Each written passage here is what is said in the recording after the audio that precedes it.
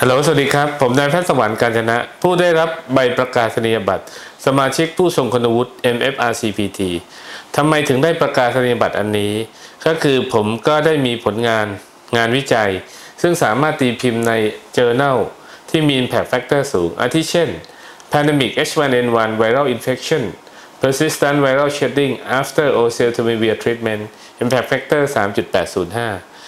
และมีโครงการงานบริการชุมชน เรื่องของการให้ยาละลายริ่มเลือดในกลุ่มกล้ามเนื้อหัวใจตายเฉียบพลัน ซึ่งสามารถลดอัตราตายในชุมชนได้ หลังจากได้รับรางวัลดังกล่าวแล้วรู้สึกมีความภูมิใจ และอยากทำงานวิจัยและอุทิศให้ชุมชนต่อไป ในในโอกาสอันนี้ขอเชิญชวนให้มาสมัคร ถ้ามีผลงานหรือทำงานวิจัยกันเยอะๆ ขอบคุณมากครับ สวัสดีครับ